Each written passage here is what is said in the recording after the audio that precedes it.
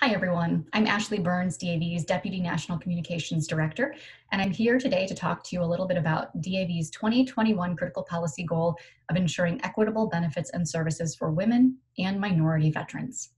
As I'm sure you'll recall, in the past, we did have a critical policy goal specifically focusing on women veterans. But due to the fact that these populations of underrepresented veterans are growing, we thought it was important that we include underrepresented veterans, minority veterans, LGBT veterans as well um, in this critical policy goal. So, why the need to focus on minority veteran populations, you may ask? Well, first of all, Black, Latino, and other ethnic minorities now comprise about 20% of VA's patient population. Women veterans make up around 10%, and an estimated 5% identify as LGBT. Now, as the veteran population decreases, these populations are growing.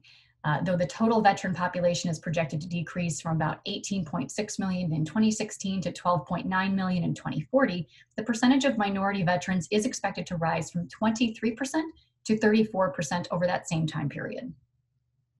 We know that racial and ethnic minorities experience disparities in medical treatment and health outcomes across all of healthcare. Uh, for example, rates of COVID 19 among Black and Hispanic veterans are double those experienced by white veterans, um, as well as homelessness, unemployment, and certain chronic health conditions are actually also more prevalent among Black veterans than other veteran peers.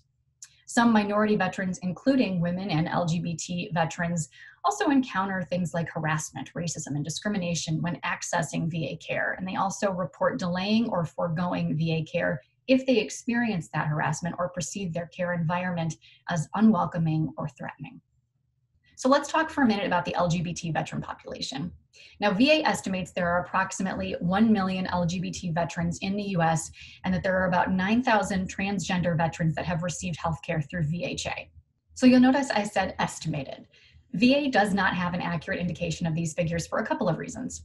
First, many LGBT veterans in studies have indicated they do not self report their orientation or gender identity to VA for fear of bias, refusal of treatment, or even harassment. Second, VA does not ask this one direct and important question of its patients, which could help to better inform healthcare providers. Now, following the repeal of Don't Ask, Don't Tell in 2011, VA adopted new policies and programs to address issues related to LGBT veterans and also established VHA's Office of Health Equity, as well as the LGBT Health Program. However, an October 2020 Government Accountability Office report notes that the VA still lacks a standardized method of collecting sexual orientation and self identified gender identity data among veterans. Additionally, many veterans who were given bad paper discharges under Don't Ask, Don't Tell, to include those kicked out for related behavioral issues, may be unaware that they can apply for official military reviews and a possible discharge upgrade, making them then eligible for VA healthcare, benefits, and burial rights. And that doesn't even include the estimated 100,000 veterans who were given other than honorable discharges before Don't Ask, Don't Tell existed. Now let's change gears a little bit here and talk about women veterans. I am extremely pleased to note that in December, after many years of advocacy work by Joy Ilem and her team, uh, and with your persistence in working with your elected officials, the Johnny Isakson and David P. Roe, MD Veterans Healthcare and Benefits Improvement Act of 2020 passed. In it were a number of provisions that were originally included in the Deborah Sampson Act across areas to improve access, increase staff cultural competency, and to eliminate sexual assault and harassment. There were 22 provisions in total that came from the Deborah Sampson Act, and many of those provisions came right from the pages of DAV's very own Women Veterans Report. So we are incredibly proud to see this passed. Some of those provisions include things like the establishment of the Office of Women's Health within VA, uh, expanded VA treatment and counseling for military sexual trauma, and of course, the establishment of a policy to end sexual assault and harassment, among many, many other very important provisions. Now, maybe you've been tracking the news for the past few years, and maybe you've heard that the VA has a problem with harassment. Now, whatever you may have heard, the facts are actually pretty clear. Harassment is not specific to any one group of veterans, but continues to be a notable problem within VA. According to VA, one in four women veterans has experienced some form of sexual harassment or assault at a VA facility. For men and women, regardless of gender, color, orientation, harassment is a barrier to care.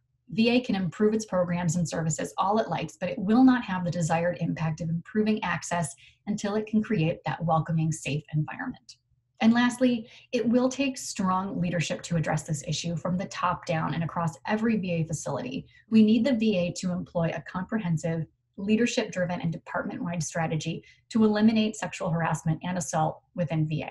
Now, the bottom line to this entire critical policy goal is to ensure that we as a nation are honoring all of our veterans and recognizing their service, sacrifice, and the contributions that they've made in and out of uniform. I thank you all so much for joining me today. And to learn a little bit more about this and all of DAV's critical policy goals, please visit our site at dav.org slash 2021 midwinter.